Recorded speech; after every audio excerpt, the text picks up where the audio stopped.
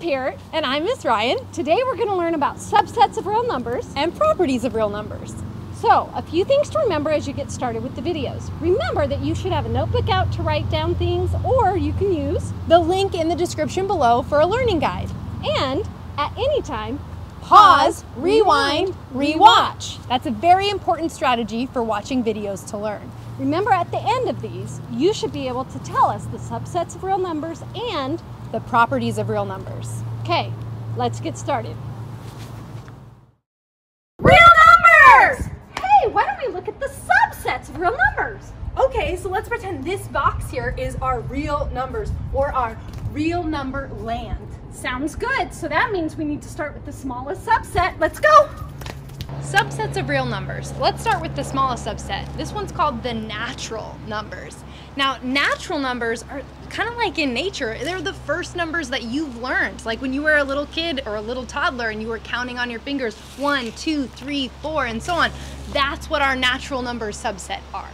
Then we move up to whole numbers. You know, as we grow, we start to learn about oh my gosh, there's not just one, two, three, four. Now there's this concept of none. Like, oh my gosh, I don't get any cookies when I misbehave.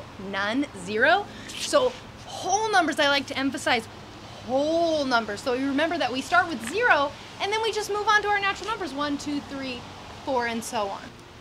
And then, of course, we are ready for even more. So then we look at our integers, integer. So in integer land, we have the whole numbers, we have that zero, the natural numbers, and the opposites of the natural numbers. So negative one, negative two, negative three, and so on. So notice we haven't done anything with fractions yet, so it's time to move on to rationals.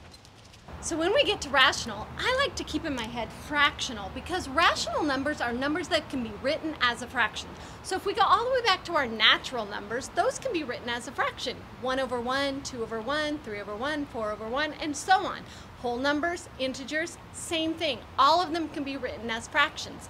So when I get to rational, fractional, we know that that includes the natural, the wholes, the integers, and now it also includes fractions and decimals that can be written as fractions. So if the decimal ends or if it starts repeating, it can be rewritten as a fraction. So we have things like 1 half, 0.74, negative 0.2 repeating, and 3.7. So many others, of course. So once again, rational numbers are numbers that can be written as a fraction. So if it's a decimal that ends or starts repeating, it can be rewritten as a fraction.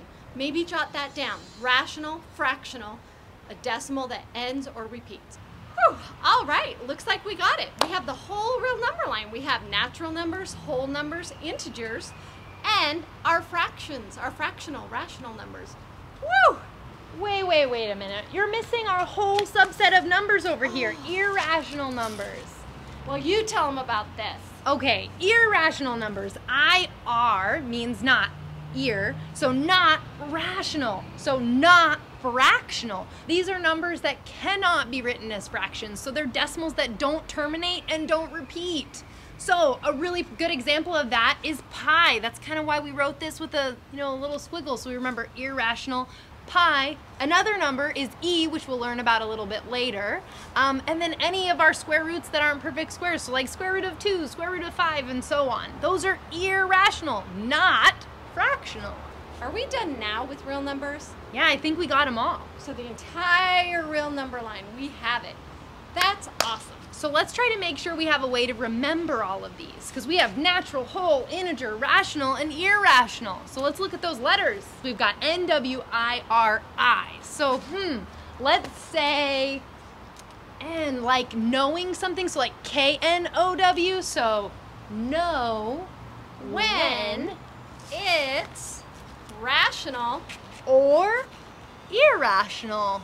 Let's try that again. Know when it's rational, fractional, or irrational, not fractional. Know when it's rational, fractional, or irrational, not fractional. So here we have a pop quiz. Given this situation, which subset of real numbers does it belong in? Say I make cookies on Monday and by Friday, I want to know how many cookies I have left. It would be whole numbers, whole numbers. Whole numbers start with zero and then go on to one, two, three, and so on. Because at the end of the week, maybe I have zero cookies left because I ate them all, or I have one or two. Who knows? All right, let's try another situation. What about like the number of pencils I'm going to need for my classes? Yeah, especially for math class. Well, we know you're to need a pencil for math class, so we're going with natural. And no, we're not talking about you broke a couple in half and stuff like that. So natural numbers, we're to need about mm, 17. Okay, so how about this situation? Say that I want to get the best value when I'm ordering pizzas. I might do something like this. Um, we could figure out the square inches of the large and the square inches of the extra large and then how much each one cost and I could figure out the cost per square inch and then buy the one that's the best value.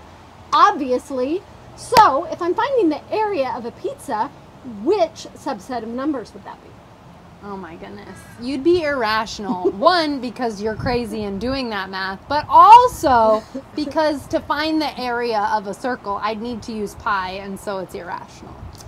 All right, one last example. Let's say you want to go buy something really cool, like, I don't know, the new iPhone 11 Pro Max. Why not? And you need to borrow money from your parents to do it. What kind of subset of numbers would I be falling into if I'm having to borrow money?